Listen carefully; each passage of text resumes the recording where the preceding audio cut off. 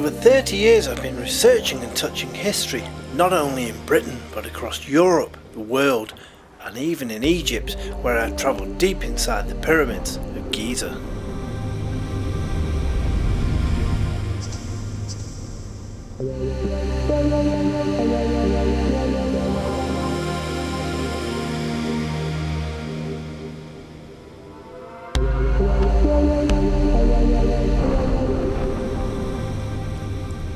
Treasures from Cyprus and indeed Greece have played a big part in my discoveries from around the ancient world over the past 20 years.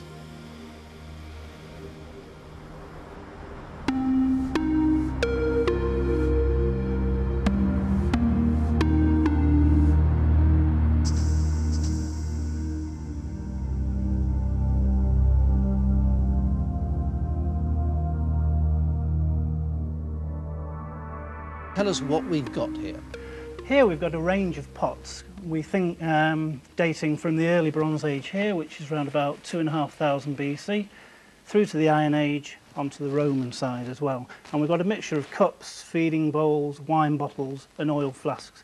And these which are funerary items which would hold the oil that would anoint the body. Once they'd anointed the body, they'd put the stop into the bottle and lay it next to the body within a tomb, we think. And how much would you say they were worth? Historically they're absolutely priceless for a cash value. Uh, they need to be looked at by the experts. Um, as a collection, they're, they're just, just tell us where they were found. They were found in Cyprus. Now, I've done some research as to how they ended up in, in Britain.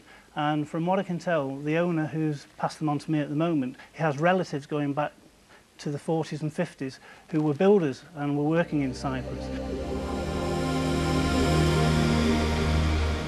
These treasures were examined on behalf of the Cypriot government at my own home here in England by the Commissioner for Cyprus. The hoard has since been returned to the owner of the collection.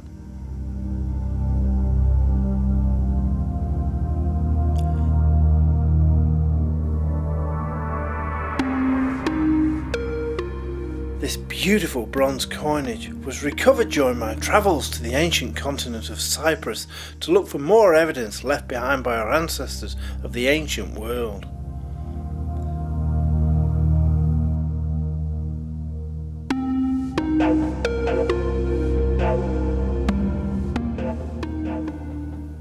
The images on the coins tells a great story of our ancient history that has shaped the world over the past 2,000 years.